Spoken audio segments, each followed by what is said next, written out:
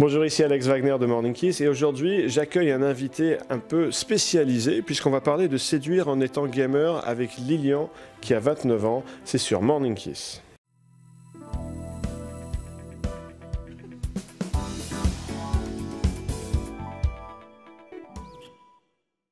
Alors, séduire en étant gamer. Euh, bienvenue avec nous Lilian.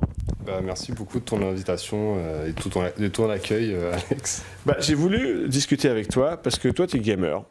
Et d'ailleurs, tu as une chaîne de gaming euh, qui, est, qui, est, très développée, plus de 34 000 abonnés aujourd'hui. Elle s'appelle comment cette chaîne? Raise, tout court. Raise. Bah, de toute façon, pour l'orthographe, il n'y a pas besoin de le dire, c'est dans la description. Et euh, bah, comme pas mal d'abonnés à la chaîne YouTube Morning Kiss, parce qu'il y en a d'autres des gamers, bah, toi tu es gamer, et c'est pour ça que je voulais parler de, de, la notion de séduire en étant gamer. Euh, ta chaîne, elle est spécialisée, ta première chaîne a été spécialisée sur Clash of Clans, mmh. le jeu pour tablette et smartphone, et tu t'es diversifié aujourd'hui dans d'autres types de jeux, de type survie, euh, FPS, et alors, tu es vraiment à fond dedans parce que tu, tu m'as raconté quand, avant que, de venir aujourd'hui que tu étais assez, voire tu es aujourd'hui encore un petit peu addict au jeu, si bien que tu en es venu à arrêter tes études pour te lancer là-dedans. Et euh, ce que j'ai trouvé intéressant, c'est que certaines personnes, à la notion de gaming, de gamer, s'imaginent euh, potentiellement un isolement social. Mmh. Toi, pas du tout. D'après notre discussion qu'on a eue juste avant que tu viennes, euh, les jeux vidéo, ça peut rapprocher, ça peut proposer des opportunités de carrière, des opportunités de rencontre. Donc on peut allier vie sociale et vie de gamer, voire de youtubeur. N'est-ce pas? Absolument, oui. Et justement, je fais le, je fais le, parallèle avec ce que tu dis euh, par rapport à la différence, en fait, je pense, entre une addiction et une passion c'est que justement l'addiction, ça peut créer, comme tu dis, euh, un isolement. Mm. Alors que, et puis euh, l'addiction, c'est comment dire la, la barrière qui t'empêche de te, de te, détacher pour faire autre chose, par exemple. Alors que la passion, c'est euh, tu fais passer toutes tes priorités avant et tout ton temps libre, tu vas le, tu vas le, tu vas le consacrer à ta passion, mm. tu vois. Alors que voilà, l'addiction, c'est euh, tu vas, tu vas tout esquiver pour faire euh, le jeu. Et je, je, donc avant, oui, c'est vrai que j'étais. Quoi Alors le, lequel entre les deux? Tu veux dire qu'il y en a un qui est plus positif que l'autre? Entre passion et addiction? Être, être, passionné, être passionné et être addict. Être addict, ça peut créer un isolement parce que je, je, je suis passé par les deux phases. Aujourd'hui, je suis passionné de jeux vidéo, ouais. mais je suis pas du tout addict. Ah. Par exemple, avant. À l'époque où j'étais addict de jeux vidéo, partir en vacances par exemple une semaine, deux semaines, euh, j'avais la veine, comme on dit. Ouais. C'était dur. Et d'ailleurs, c'est comme ça que je m'en suis sorti en plus. Hein. Et euh, alors qu'aujourd'hui, euh, bah, je vais en vacances régulièrement et ça me manque pas du tout. Ouais. Voilà, au contraire, même, ça me, ah, Dis-moi la vérité, je suis curieux, parce que tu avais à peu près une heure de retard pour, pour ce rendez-vous aujourd'hui. C'était parce que tu pouvais pas te détacher de ton jeu, non? Non, pas du tout. Franchement, la, la, vérité, c'est parce que j'avais deux, trois corvées. En fait, tu sais, je viens d'emménager. Okay, ouais. D'emménager, j'avais deux, trois corvées à faire. Et, okay. euh, et voilà, j'ai mal géré le, le temps. J'étais même pas bon, du donc, tout. mine de rien, tu arrives, arrives, à faire tes corvées quand même. Voilà, ouais, c'est ça. Okay. C'est ça. Non, bah, aujourd'hui, le, voilà, le, le, gaming est une passion. C'est pas une c'est pas un isolement. Avant, c'était une échappatoire. Et oui, j'ai arrêté parce que euh, bah, le jour, euh, voilà, pour tout te dire, le jour où, je, où je, devais passer mon, mon bac, finalement, bah, je suis même pas allé. J'étais en train de jouer euh, à un jeu. Je, je, pense que tu connais peut-être World of Warcraft. Ah ouais, bien sûr. Ouais. Voilà. Bah, j'étais en train de jouer à ça le jour du bac, tu vois. Ah, en effet. Voilà, ouais. Wow. ok. Longtemps. Ouais, c'est hardcore. 17-18 ans. Voilà, là j'en ai 29. C'est pas forcément, j'imagine, ce que tu recommanderais aux autres. Non, pas du tout. Pas du tout. C'est bah justement s'il si y a des jeunes euh, qui, qui, nous regardent, voilà. Euh, ouais, il y en a, ouais. ouais. Il faut pas. Il euh, n'y a aucun intérêt à, à, vous, à, vous, isoler dans un jeu vidéo. Et euh, voilà, et c'est pas ça qu'on cherche. Enfin, la vie de gamer, c'est pas du tout ça. C'est pas c'est pas un isolement, et puis c'est pas du tout comme avant. Et euh, voilà, pour te, pour pour en parler aujourd'hui, pourquoi je pense que le le gaming peut créer donc des opportunités de rencontres, de professionnels. C'est qu'il y a tout un, il y a tout un, un, un, un, écosystème social, si je puis dire, autour du gaming aujourd'hui. C'est que par exemple, euh, je, je, vais prendre beaucoup d'exemples par rapport à League of Legends. Tu connais ou pas? League of Legends, euh, deux noms seulement. voilà, bah, c'est normal que tu connais même que de noms, parce que c'est le jeu le plus, le plus médiatisé. Mm. Et euh, par exemple, c'est un jeu, ce qu'on appelle e-sport. Ça veut dire qu'il y a des gens qui s'entraînent toute la journée. Bah, tu as connu ça toi aussi euh, par rapport à, oui, bah j'en dirai un peu plus dans, deux minutes quand, quand, tu auras fini ton anecdote. Vas-y, donc euh, c'est un jeu, bah, tu t'entraînes, euh, c'est des joueurs qui s'entraînent toute la journée, euh, ils sont payés pour s'entraîner toute la journée pour remporter des compétitions, donc ça se joue à 5 contre 5. Donc déjà, il y a un esprit d'équipe, tu vois. Parce que tu peux pas remporter, tu as besoin de 5 joueurs pour remporter la victoire. Mm. Et la dernière Coupe du Monde, ou l'avant-dernière, je ne sais plus, c'était un cash prize, donc la récompense était quand même 4 millions de, ah dollars. Donc t'imagines un peu le, business qu'il y a derrière. Donc, euh, et ah bah, le e-sport, c'est en train d'exploser. Euh, il y, a moyen de gagner euh, très bien sa vie. Qu'on soit athlète, qu'on soit coach, qu'on soit aussi. Bah, on a besoin de designers aussi, on a besoin de managers, mm. on a besoin de. voilà, Paris Saint-Germain a sa propre équipe de, League of Legends aujourd'hui. Ah, je savais pas.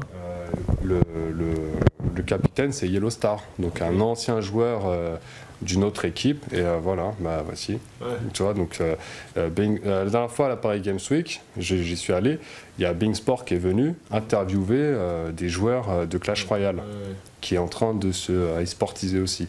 Donc au niveau professionnel, il y a, on peut, on peut gagner sa vie en jouant aux jeux vidéo. Du moment, bien sûr, c'est comme, c'est comme tous les sports entre guillemets, euh, du moins qu'on est bon et qu'on s'entraîne dur. Alors c'était pas du tout le cas à mon époque. Euh, ceux, qui sont abonnés à ma chaîne ne le savent peut-être pas, mais moi je suis un ancien gamer. Euh, j'ai 43 ans aujourd'hui. Quand j'étais en école d'ingénieur, alors j'avais quoi 20, 22 ans à peu près. Eh ben, en l'an 2000, j'étais champion de France d'un jeu que vous ne connaissez certainement pas, qui s'appelle Grand Prix Legends. C'est une simulation de Formule 1 qui recrée la saison de 1967 en Formule 1. Et alors, à l'époque, c'était en l'an 2000 que j'étais champion de France, le, terme cash prize n'existait pas. Tu sais ce que j'ai gagné? J'ai mis, mis littéralement des milliers d'heures là-dedans en m'entraînant comme une sorte d'athlète de haut niveau. On faisait déjà des compétitions en réseau en, l'an 2000, c'était le début. Et ben j'ai gagné une image 3D d'une coupe. Ah bah d'accord. franchement là, t'imagines, ouais non, c'est clair ça a bien. C'était un, peu la loose. Tout le temps investi et tout aujourd'hui. Euh, ouais, c'est ça. C'est clair. Ouais, mais bah, aujourd'hui, c'est.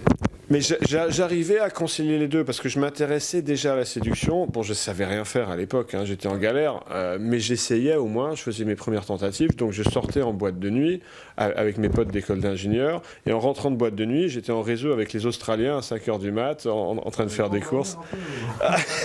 je, sais pas, je me souviens plus des détails, mais je devais dormir euh, en cours au fond de l'amphi, tu vois. École d'ingénieur en plus, donc euh, ouais. c'est clair.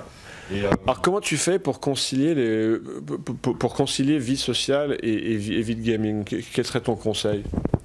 Alors justement, je voulais en parler. Euh, déjà, il faut savoir que c'est que, que, que, tu sois gamer en fait finalement ou un, sportif de haut niveau ou autre. Euh, il y a toujours ce, ce, problème de vie sociale, mm. voilà, allier vie sociale avec ta passion. Et souvent, bon, quand on parle du gaming, on a l'impression que c'est encore pire et tout, mais pas du tout. Moi, je connais des, des, personnes qui font, je sais pas, 10, 15 heures de sport par semaine. À côté de ça, ils ont une vie très chargée. Pourtant, c'est pas des gamers et ils ont du mal à avoir une vie sociale. Mm. Pourtant, c'est pas des gamers, il y a des personnes qui passent beaucoup de temps dans leur travail. Donc, une particularité, il me semble, par rapport au gaming, c'est la perception sociale que les gens peuvent avoir, ou du moins ce qu'on imagine, ce qu'on imagine être leur perception. Euh. Parce qu'on imagine, gamer, le, c'est le geek, euh, voilà, devant son ordinateur. Dans la caricature. C'est tout, euh, devant lui, le clavier dégueulasse, c'est tout. C'est pas du tout ça. c'est pour ça que j'ai dit ce que les gens imaginent. Parce, que la vérité, elle est, peut-être ailleurs. Mais c'est pas, c'est tellement pas ça en fait. Le, le... Après, il y a plusieurs types de gamers, mais le mais, si, les nanas pensent que c'est ça, c'est un problème, non? C'est réellement un problème. C'est réellement un problème. Mais le gamer, c'est pas ça. Le gamer, c'est euh, quelqu'un de passionné, c'est quelqu'un qui rencontre beaucoup de personnes aussi. C'est quelqu'un qui a un esprit d'équipe, qui, euh, qui peut avoir aussi des projets. Je te donne un exemple. Euh, par exemple, World of Warcraft, tu vois, je, je te parlais de ça tout à l'heure.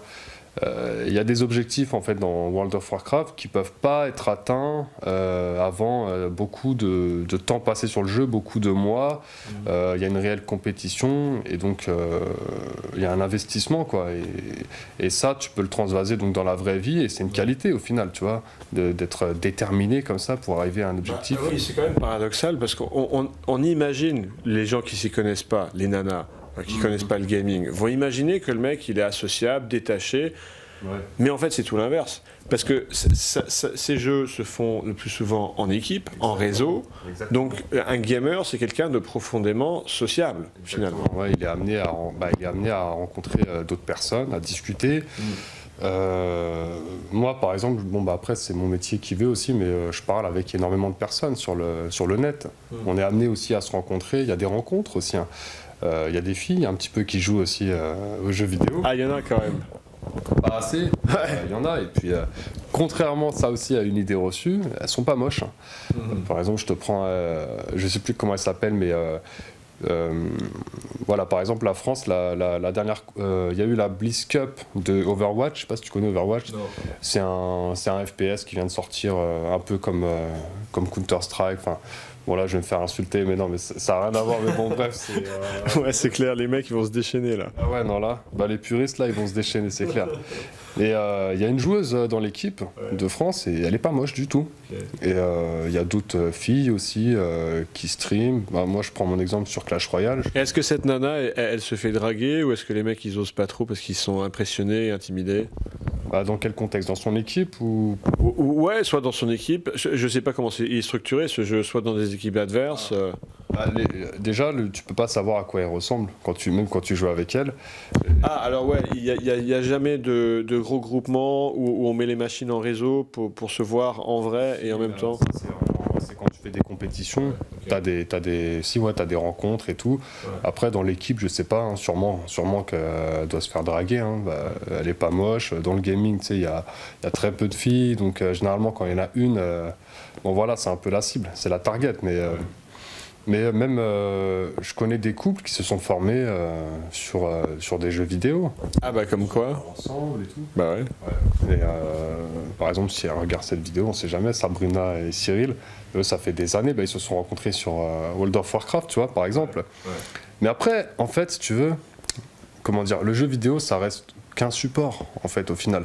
C'est comme euh, tu vas dans un bar et tout, ça reste qu'un support. Mm, mm. Après. C'est clair, tu as raison. je veux dire, on va pas, on va pas dans un bar pour boire ce qu'on a dans son verre ce qu'on a dans son verre, c'est un prétexte pour, pour, sortir avec des gens et ou en rencontrer d'autres. C'est ça, c'est ça. C'est après, c'est ce que t'en fais toi au final. Mm. Euh, tu, tu, joues à un jeu vidéo, il y a des filles. Après, c'est toi. Qu'est-ce que tu vas faire de, de voilà de, de, de, ce support et tout. Et ce qu'il faut, c'est essayer bah, de, détacher en fait. Euh, euh, la personne et toi-même du support et essayer de voilà d'isoler et de lui parler comme ça même si c'est dans le gaming. Après, c'est plus. Il y a même des bars, je voulais, je voulais, je voulais en parler, il y a même des bars euh, spécialisés, euh, par exemple le Meltdown. Euh, c'est un bar qui est dans le, à Paris, je sais plus, il y en a plusieurs en fait dans le monde. alors là, si tu es un gamer et que tu habites près de Paris, tu vas là-bas et bah, y a, pareil, c'est un grand bar, il y a des PC en réseau et il y a énormément de filles. Énormément. Le, le, le, le meltdown, c'est ça? Le meltdown. Ouais. E-L-T et Down, D-O-W. Ouais, bah, je le mettrai dans la description. Je suis allé deux fois et ouais, il y a, y, y a, de quoi. Euh, ah ouais, cool. Et en plus de ça, ce qui est marrant, c'est que euh, les filles là-bas, elles, euh, elles, te parlent ouvertement. c'est elles-mêmes qui viennent te parler des fois, etc. Donc, parce que déjà, d'une, elles se sentent peut-être un petit peu en sécurité étant donné que tout le monde est là pour la même raison, mm. le gaming. Ouais, ça rapproche. Voilà, ouais, une passion partagée, ça rapproche. Exactement. Alors que, par exemple, si tu vas dans un bar euh, classique, bah, t'es pas sûr d'avoir le même statut que les, autres personnes, et souvent ça te freine, quoi. Tu me dis, ouais. Ouais, et puis, bah, dans, dans, ce bar, le Meltdown, j'imagine que les sujets de conversation, c'est tout fait. Et, et, ouais, et le, plus gros problème de la majorité des mecs que, que j'aide, euh, que j'accompagne sur le terrain, c'est quoi dire? Donc, effectivement, là, c'est beaucoup plus facile. Ouais, c'est sûr. Après, bon, euh, il y a toujours cette fameuse phrase d'accroche, ou voilà, parce que bon, c'est sûr. Ouais, mais ce sera plus facile d'en trouver une dans un bar contextualisé comme celui-là, plutôt qu'un bar où, où il n'y a pas de point commun. Ouais, c'est clair, exactement. Et même toi, enfin moi, je suis pas trop fan de d'aller aborder, etc. Euh, ça m'est déjà arrivé, euh, j'ai pas trop été mal reçu. Le peu de fois où c'est arrivé, où j'ai réussi à prendre mon courage à deux mains, tu vois. Mais euh, c'est bien, bravo. Merci. C'est pas le cas de tous les mecs. Hein. pas arrivé beaucoup de fois, hein, je te le dis. Franchement, il y en a même une, je pouvais la suivre sur 2-3 km avant d'aller lui parler. ah merde, ok. non, je l'ai pas fait, mais si j'attendais, j'aurais pu encore, tu vois. Mais Et justement, quand, quand, quand tu étais amené à parler à des nanas, à les draguer en clair, à les aborder et que euh, venait le sujet de tiens euh, bah, Lilian euh, tu t'intéresses à quoi dans la vie? Qu'est-ce que tu fais de ton temps libre? Et, que tu commences à parler de jeux vidéo. Comment tu le vis? Est-ce que tu as un sentiment de honte, de fierté quand si tu dragues une nana et que ça vient sur la table ce sujet? Bah, La dernière fois que c'est arrivé en fait j'avais j'avais pas que le je sortais en fait de ma phase d'addiction. Donc franchement pour te répondre honnêtement euh, à l'époque, j'étais pas encore euh, aussi passionné qu'avant. Et euh, je, pense qu'à cette époque-là, j'aurais eu honte, tu vois. Malheureusement, parce que c'est le, bah, c'est l'image que qu'on parlait tout à l'heure que les nanas elles ont.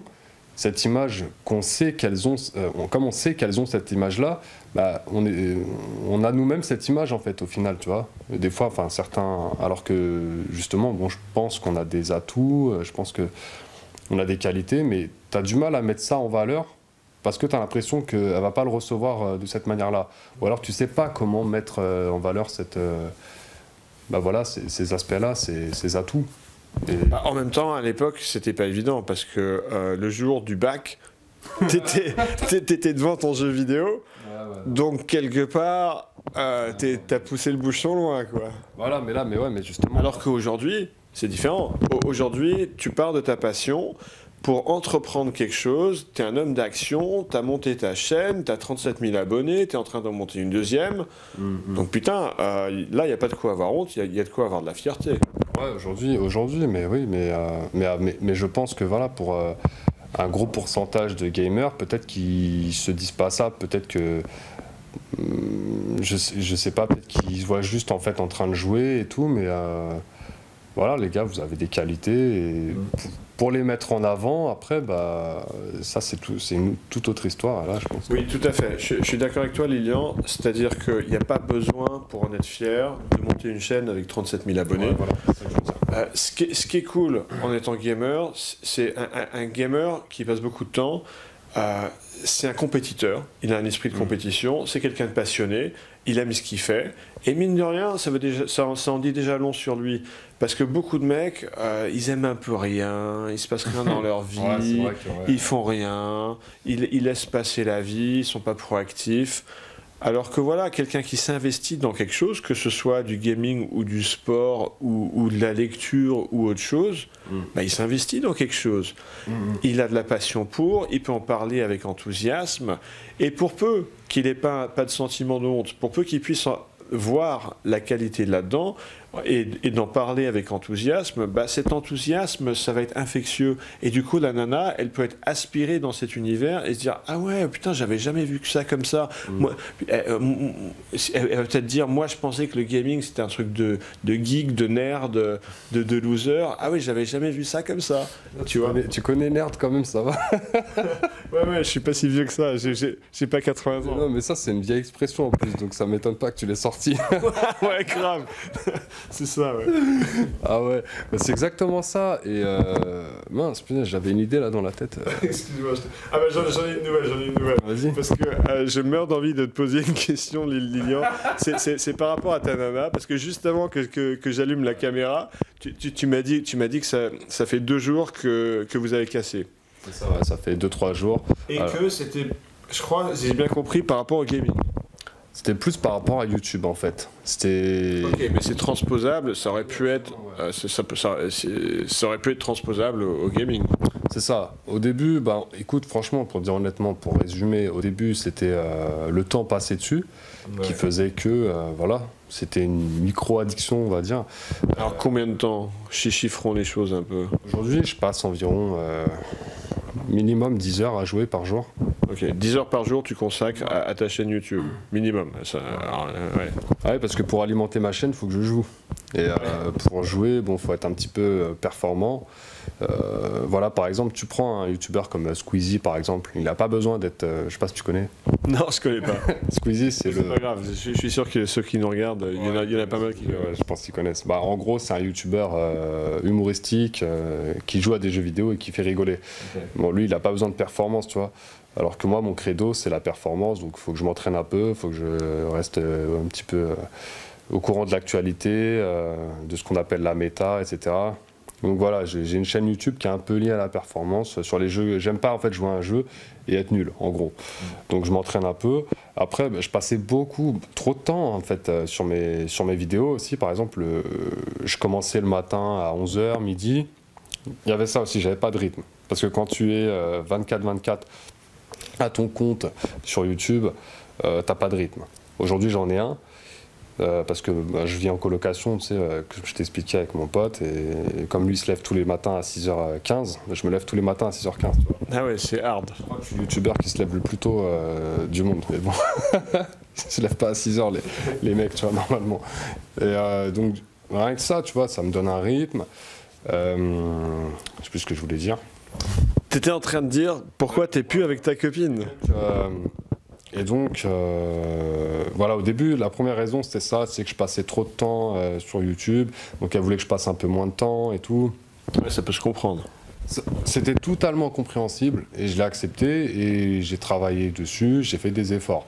Euh, c'était des trucs bêtes, par exemple, des fois elle m'appelait, je disais Attends, je te rappelle, je suis en train de tourner, alors qu'il était bon à 21h, 22h, tu vois. En gros, bon, bah, si à 22h t'es pas disponible, à quelle heure quoi? Sachant qu'on est en couple et tout, ça, je comprends tout à fait. Je comprends tout à fait.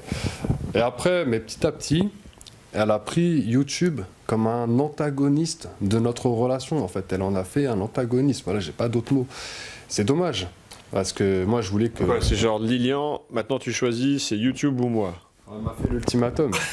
Et là, aujourd'hui, je, je suis plus avec elle. Il faut choisir. C'est comme. Euh, ah, c'est YouTube qui a gagné alors. YouTube qui a gagné parce que. Mais il y, y, a des bonnes raisons derrière. Alors, en, même temps, petit conseil pour les femmes, c'est pas forcément une bonne idée de, de, mettre un homme devant un ultimatum comme ça. Enfin, il y a d'autres façons de s'y prendre. C'est pas le sujet de la vidéo, mais bon. Bah, surtout s'il a fait des efforts avant pour euh, diminuer justement. Euh, voilà, le, là, si tu veux, j'avais beaucoup de temps à lui consacrer. C'est juste que voilà, elle, elle voyait pas YouTube comme un avenir, etc etc. Donc euh, bon, euh, je pense que là le problème c'est que elle, elle avait pas, euh, enfin ce que je pense, j'espère qu'elle va pas regarder cette vidéo, mais elle avait pas l'air d'avoir beaucoup de rêves en fait dans sa vie et elle ne comprend, elle n'a pas la notion que moi j'en ai et que j'essaye de les réaliser quoi, même si c'est des sacrifices en fait, parce que c'est des sacrifices. Je, voilà, je, bon bah c'est des sacrifices quoi. Ah oui, bah, bah, elle, si dans sa vie, elle partage pas ce genre de dynamique, euh, euh, peut-être dans un autre domaine, du coup, elle comprend pas comment tu peux être aussi euh, passionné, aussi investi. Et oui, bah, ça peut faire une divergence. Le problème, le problème aussi, et là je pense que ça va intéresser les, personnes, c'est qu'elle ne s'intéressait pas du tout en fait à, à, ma passion, quoi, à YouTube. On n'en parlait jamais alors que j'y passais beaucoup de temps. Et toi, je trouvais pas ça normal, quoi quand tu es avec quelqu'un, tu sais qu'il est passionné d'un sujet, euh, tu essayes de, t'intéresser aussi. Normalement, enfin, tu, si tu aimes vraiment la personne, tu t'intéresses aussi. Euh, c'est ce que je pense. Quoi. Par exemple, moi, euh, elle, aimait, elle aimait beaucoup son travail, donc on parlait beaucoup de son travail. Mmh. Il y avait des choses, des fois, qu'elle aimait. J'essayais tu vois, de, de, comprendre. Quoi. Pourquoi? Parce que, parce que je t'aime, j'ai envie de comprendre pourquoi tu aimes ça. Mais elle, elle n'a jamais cherché à comprendre euh, ce que me rapportait YouTube en fait. Mm. Elle voyait que les côtés négatifs. Elle voyait pas. Euh, pour elle, voilà, ouais. Pour elle, si j'avais cette image, oui, euh, tu te filmes dans ta chambre 10 heures par jour et tu joues aux jeux vidéo. Alors que pour moi, c'était, je suis parti de rien, j'ai réussi à intéresser 37 000 personnes. Ah, c'est clair. voilà, je leur ai rien demandé. Et ils se sont abonnés, pourquoi? Parce qu'ils ont envie de revoir mon contenu. Mm. je suis parti à la Paris Games Week, j'ai fait des photos avec eux, alors que je suis personne comment tu peux expliquer euh, Est-ce que, est que toi, il y a autant de personnes qui t'aiment dans le monde? Ne serait-ce que. voilà, est-ce qu'il y aura 37 000 personnes qui, pourront te dire je t'aime?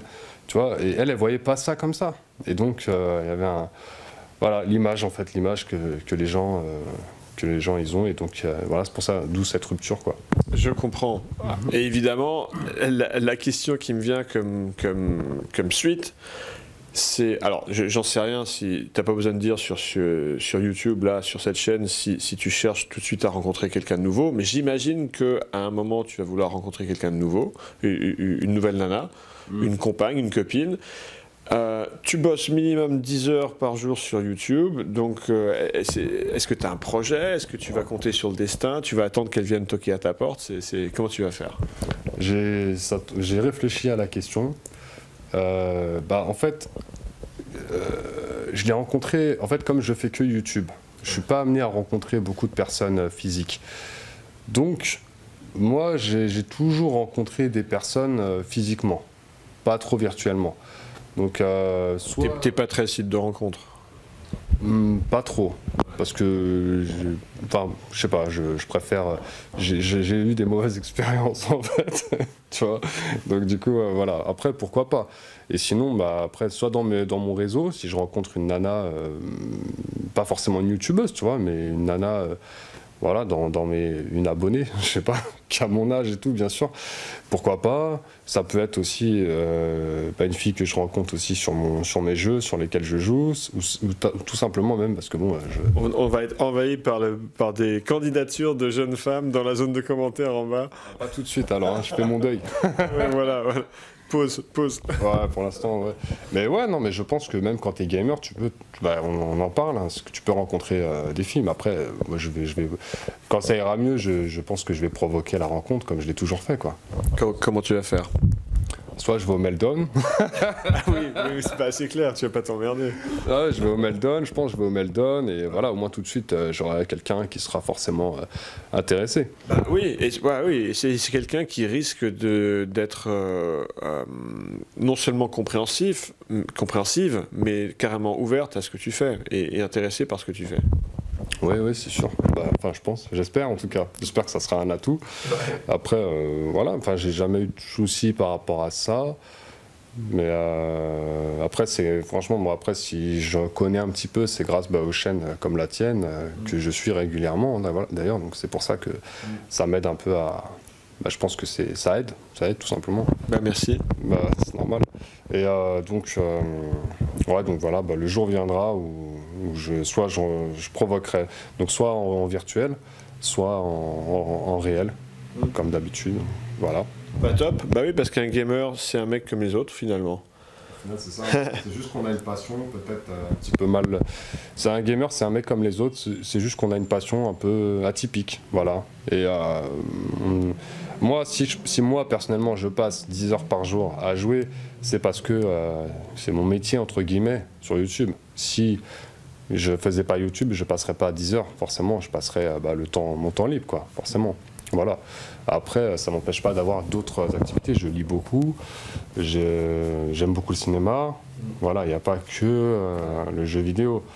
Euh, voilà, j'ai arrêté, mais je faisais beaucoup de sport pendant une période aussi. Mais voilà, il a fallu choisir, encore une fois, entre la copine, plus YouTube, plus les sorties, plus voilà. J'ai dû sacrifier un truc, j'ai sacrifié le sport.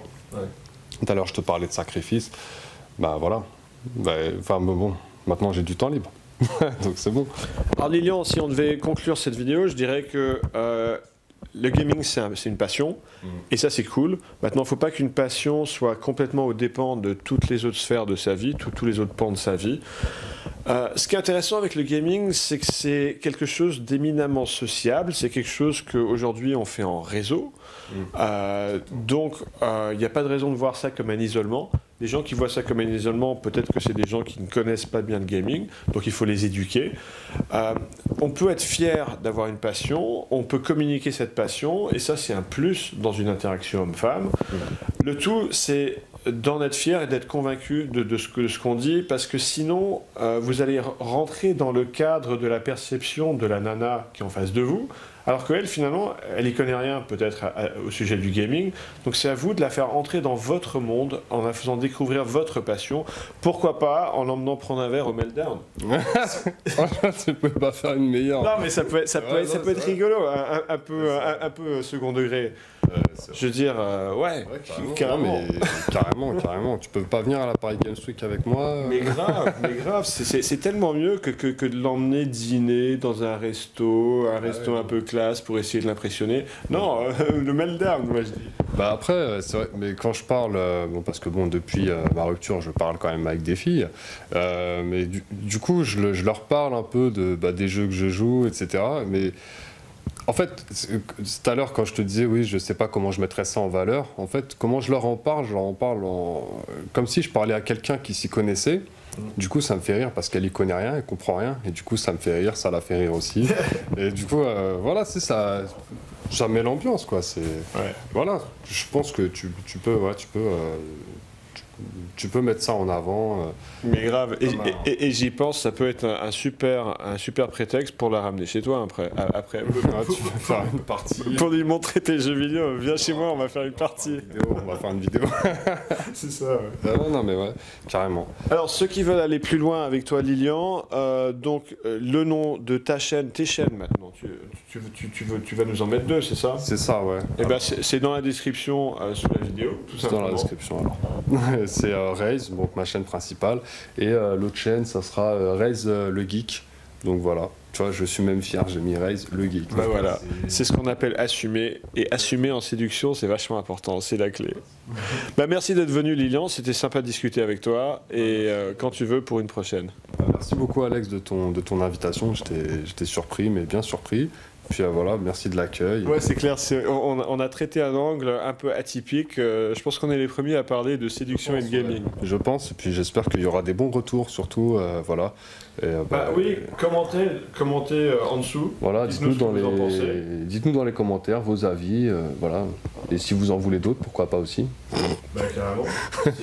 si, si, ça plaît, on peut se revoir pour. Si vous voulez, j'emmène Alex au Meltdown et il vous fera. Putain, ce serait énorme. Oh, oh, j'ai fait une caméra cachée au Meltdown. non mais franchement, ça peut être une furie. Mais grave, mais moi je suis, moi, je suis pour. Le titre, J'emmène un coach en séduction au Meltdown. eh, eh, Paris, allez. ouais, vos commentaires. Ouais, ah, ouais, voilà, un, peu de pression. non, parce que si ça vous intéresse pas, je, je, je, vais pas aller faire une caméra cachée au Meltdown. Ah ouais, non, ça serait vraiment lourd. Ah, franchement, là, en plus, on vient vraiment, on vient vraiment de là d'y penser comme ça. Ah bah là, je crois qu'ils ont senti la spontanéité.